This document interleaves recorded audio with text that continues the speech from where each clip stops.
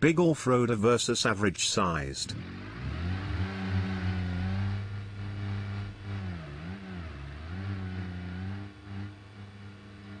I'm going to brake check him.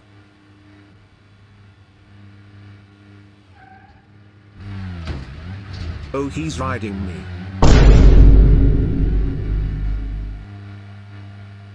Dang it he's off of me.